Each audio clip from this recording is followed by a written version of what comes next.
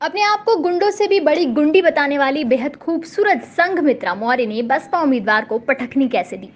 इस लोकसभा चुनाव में मोदी का जादू कुछ ऐसा चला कि विपक्ष के गढ़ को भी अपना बना लिया। उत्तर प्रदेश की लोकसभा सीट बंदायू पर उन्नीस से जीत के लिए तरस रही भाजपा ने अपना कब्जा कर लिया है। भाजपा की डॉक्टर संघमित्रा मौर्य ने अठारह वोटों से सपा के धर्मेंद्र यादव को पराजित कर दिया है। संघमित्रा मौर्य के बारे में कहा जाता है कि वे बेहद जुझारू और मुंहफट हैं। उन्होंने यहाँ तक कह दिया था कि मैं गुंडों से भी बड़ी गुंडी हूँ।